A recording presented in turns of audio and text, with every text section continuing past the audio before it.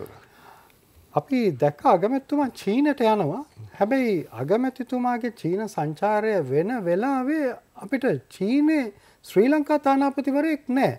චීනය ඉතාමත්ම වැදගත් පාර්ශ්වකාරයෙක් ලංකාවේ විදේශ සම්බතතාවල මේක ටිකක් වෙනස් තත්ත්වයක්නේ. චීනය ශ්‍රී ලංකාවේ තානාධිපති කෙනෙක් දැන් මාස හතක් විතර වෙනවා.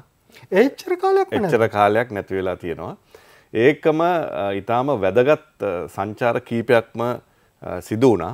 ජනාධිපත්තුමා ගිය අවුරුද්දේ ඔක්තෝබර් මාසේ චීනය සංචාරය කරා. ඒ වගේම මේ වන විට අග්‍රාමාත්‍ය දිනේශ් කුණුවර්ධන මහතා චීනය සංචාරය කරනවා. මං අනුමාන කරනවා මේකත් අර පොලිස්පති දූරය පිළිබඳව.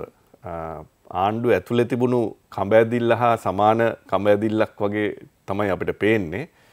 මොකද සාමාන්‍යෙන් චීනය වැනි ඉතාම වැදගත් රටකට තානාපති කෙනෙක් අරනකොට ඒක තීරණය කරන්නේ ජනාධිපත්තුමා. එතකොට ජනාධිපත්තුමාට යම් බලපෑමක් කරන්න පුළුවන් කවුරහරි බලවතෙක් තමයි මේකට වෙනත් අදහසක් දාලා තියෙන්නේ.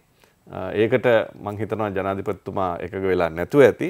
ඉති ඒ හින්දා මේ ඉතාම දීර්ඝ කාලයක් තිස්සේ අපිට චීනයේ තානාධිපති කෙනෙක් නැතුව ඉඳලා තියෙනවා. ඒක මංහිතන්නේ චීනය පැත්තේ ඉඳලා ලංකාව දිහා බලනකොටත් චීනය හිතනව ඇති ඉතින් චීනට එච්චර මේ තරම් අඩු සැලකිල්ලක් දක්වන්නේ මොකද මේ තානාධිපති කෙනෙක්ව එවන් නැතුව කියලා. විවිධ අංශවලින් බලපුවාම චීනය හිතනව ඇති ඇයි මේ වගේ විශාල පරක්වත් තියෙන්නේ තානාධිපති කෙනෙක්ව එවන්ට මොකද ඒගොල්ලන්ට පුරුදු නෑනේ මේ චීනය සාමාන්‍යයෙන් ඉතාම ඒගොලන් ඉතාම වැදගත් සහ ක්‍රමාණුකූලව තීරණ ගන්න රටක්. ඒගොලන්ට මේක තේරෙන්නේ ඇයි මේ වගේ රටකට ඇයි තානාධිපති කෙනෙක්ව තෝරගණ්ඩ මෙච්චර මේ මාස ගන්නවක් මේ තර්ක විතර්ක කරන්න කියලා මංහිතන්නේ ඒගොලන්ට තේරෙන්නේ නැතුව ඇති ඇතු.